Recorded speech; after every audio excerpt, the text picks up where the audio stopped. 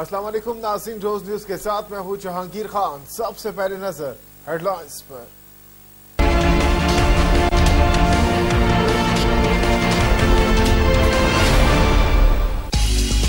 Army chief کے اعزاز میں آج وزیر اعظم ہاؤس میں الوداعی تقریب ہوگی۔ وزیر اعظم نواز شریف سے ملاقات میں نئے آرمی چیف کی تقریب پر مشاورت بھی ہوگی۔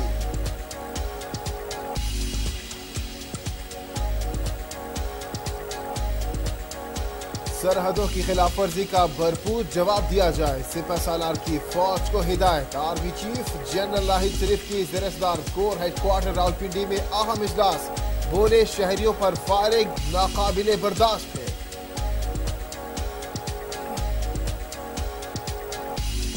بھارت کا انسانیت پرواہ۔ نیلم وادی میں مسافر بس اور ایمبولنس پر فارغ سات شہری شہید۔ کنٹرول لائن پر فارغ کے بعد جڑپ سات بھارتی فوجی ہلاک۔ پاک فوج کے کیپٹن سمیت تین فوجی شہید۔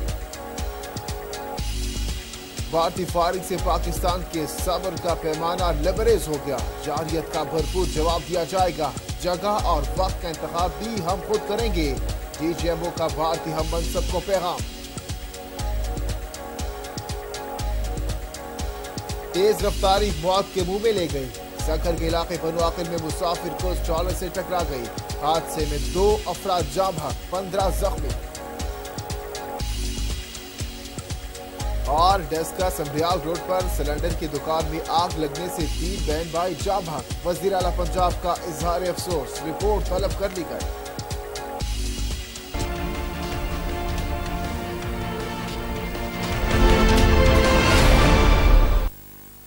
ہیڈ لائنس آپ جان چکے ہیں۔ مزید کسی بھی خبر کی تفصیل کے لیے وزٹ کیجیے ہماری website Roze T V dot com دیکھتے رہیے روز نیوز۔